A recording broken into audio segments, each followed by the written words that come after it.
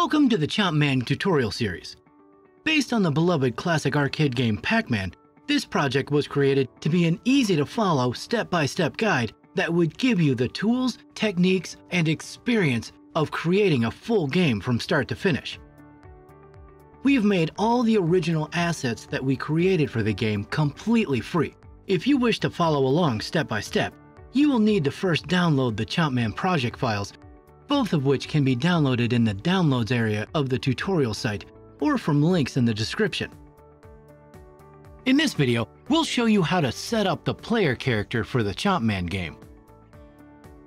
For this project, instead of root motion or animations to drive the character movement, we'll be using a combination of blend shapes, FSMs, and triggers to cue our character's animation.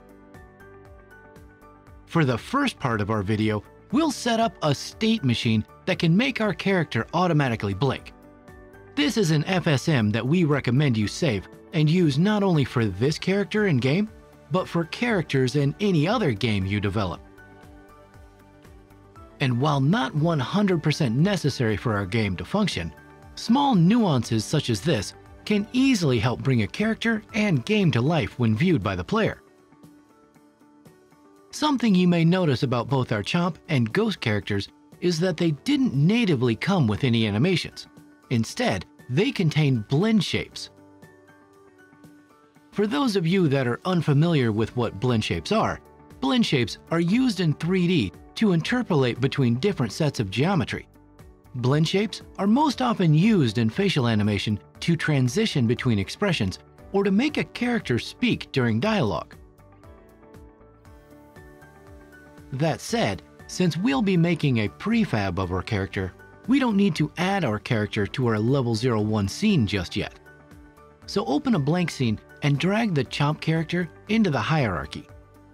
The Chomp character can be found in the Mesh folder under the Character subfolder.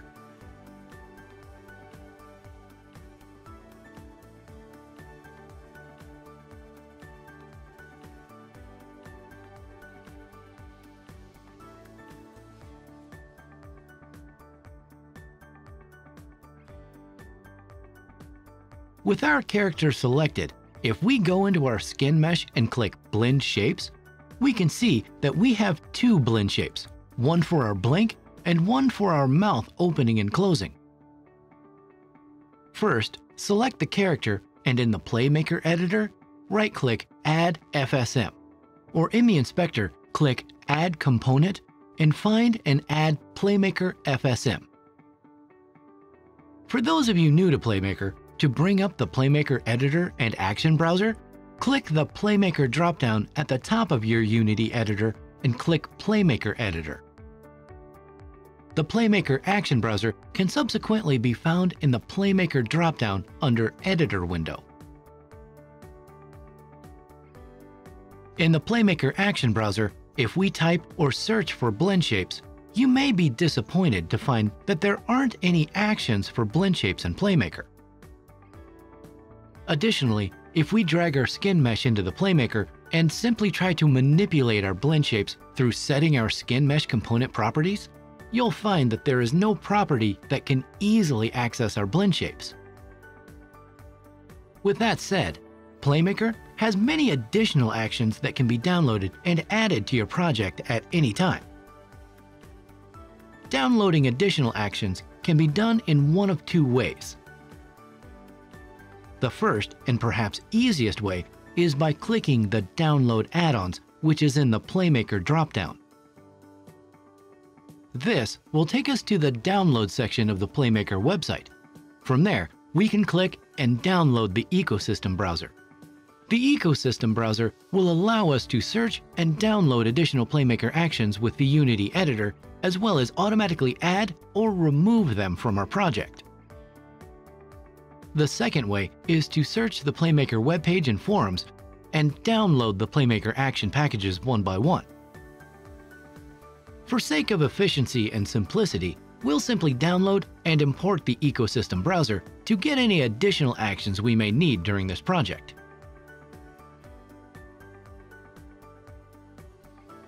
Additionally, the ecosystem browser will also make sure we have the most up-to-date version of the actions we're adding to Playmaker.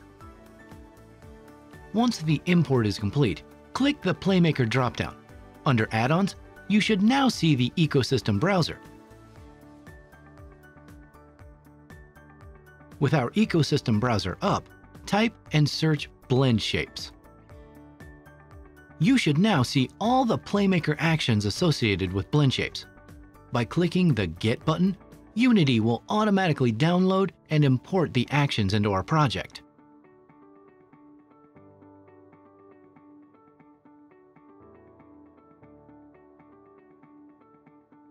Once you've downloaded all the Playmaker blend shape actions, close the Action Browser and go back to the Playmaker editor.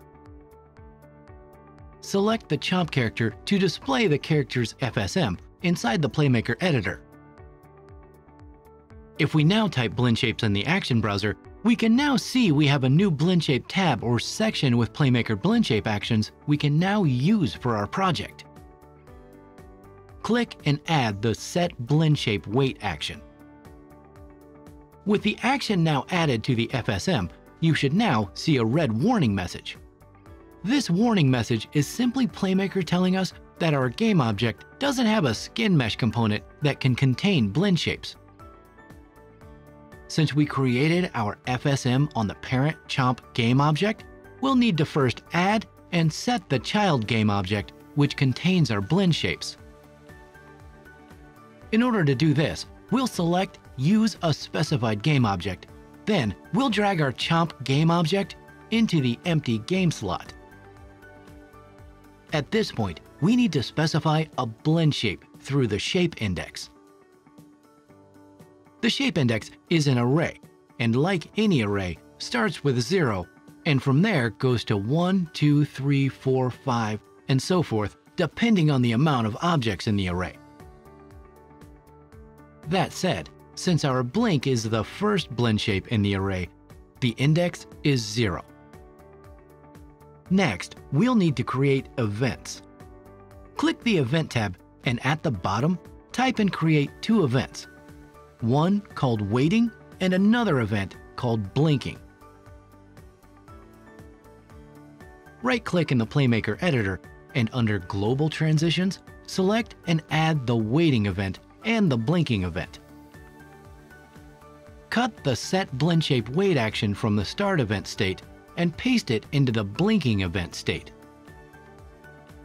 With the waiting event state selected, add a wait action. Inside the wait action, set the Finish event to Blinking. Click the button to the right of the Time input box, and in the new dropdown, click New Variable. Name the variable Blink Wait Time and hit Create or Enter. Click the Variable tab in the Playmaker editor. With the Blink Wait Time variable selected, click the Inspector checkbox at the bottom of the Variable tab, which will make the variable available to view and change from the Unity Inspector. Create another float variable called Blink Speed by first picking the variable type in the Variable Type dropdown then typing its name in the input box at the beginning of the Variable tab. Select the new blink speed variable and make it available in the inspector.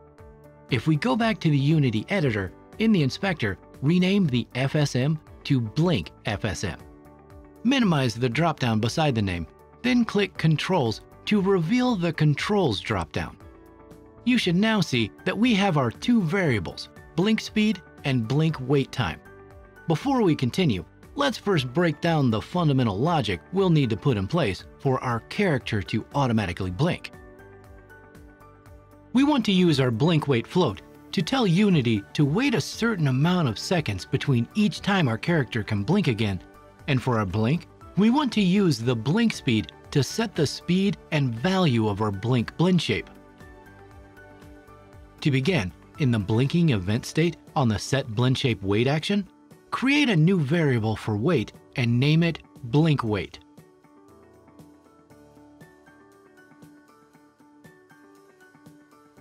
Essentially, the logic we want to have in the blinking state is that every frame, the blink wait increases, and once the blink wait hits a certain number, it transitions to the waiting state where the blink waits, then set back to zero, waits a certain amount of seconds, then goes back to the blinking event state again.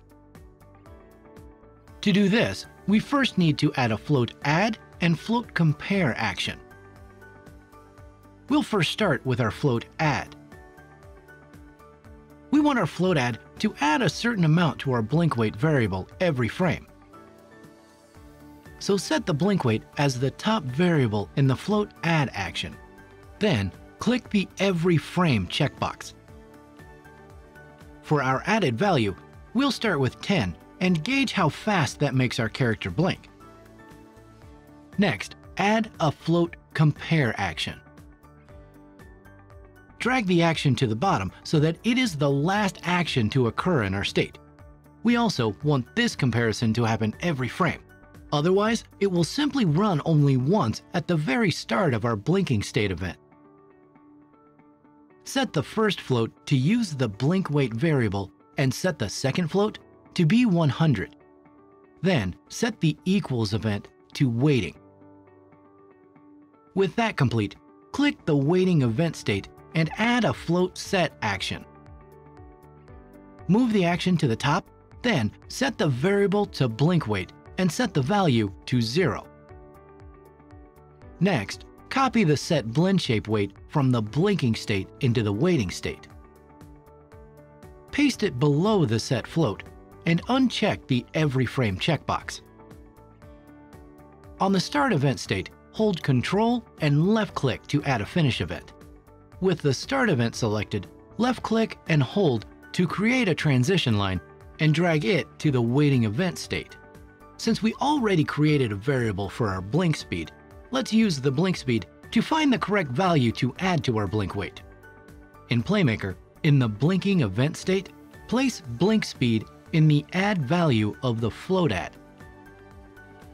In the Unity inspector, set the blink speed value to 10 and the blink wait time as 2. Next, hit play to test the blink FSM. At this point, we can see our blink is fully functional, but it also appears some of our values still need to be tweaked. Since we enabled our variables in the inspector, we can tweak our values in real time without leaving play mode.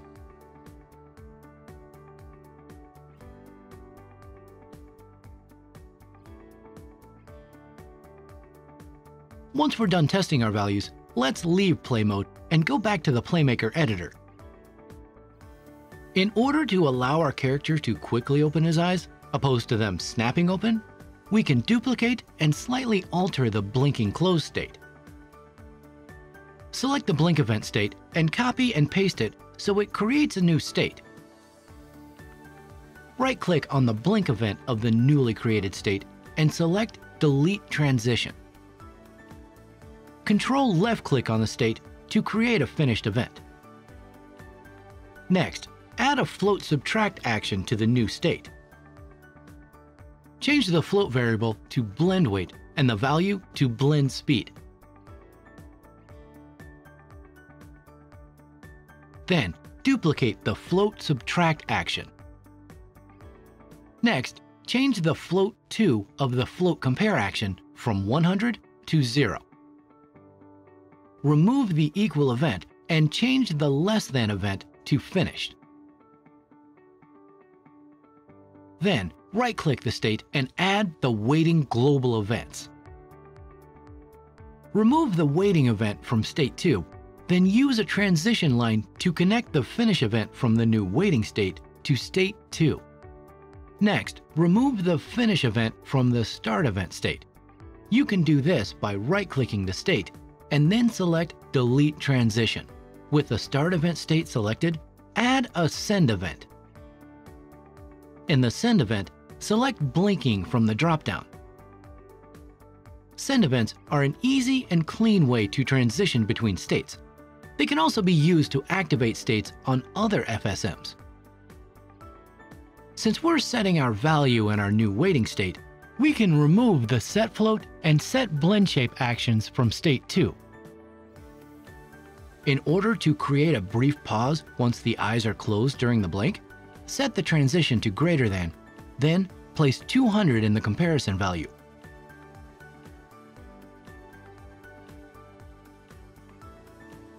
Make sure you check the every frame checkbox for both the subtract float actions.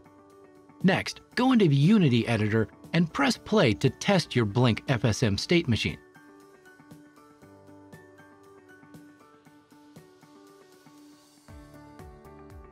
In our opinion, a blink speed of 50 and blink wait of 3 seconds gives exactly the look we're going for. However, feel free to use the values that look best for you. Before we continue setting up our character for our game, let's first make the character a prefab. Before doing so, make sure your position and rotation transforms are set to zero. Next, drag the Chomp character into your character subfolder inside the prefab folder. If you don't have a character folder, right-click anywhere in the prefab folder in the project window and create a new folder and name it Characters.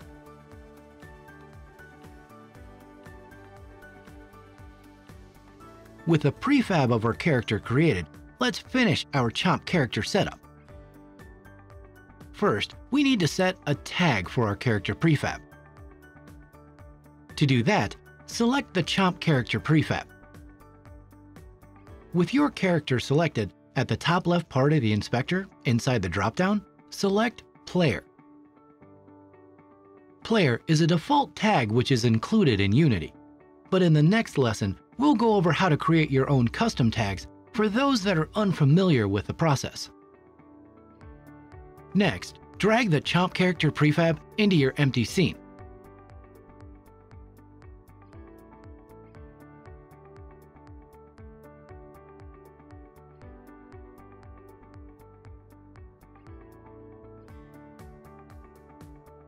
Since we don't have any animations that we're going to be using in this game, let's remove the animator component. In place of the animator component, we're going to add a default Unity character controller. Click Add Component and type Character Controller, or under Physics, you can also find the Character Controller component.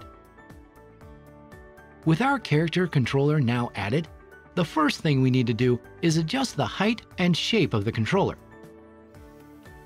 To do this, change the height to 1. Next, change the radius and the center y-axis to 0.6.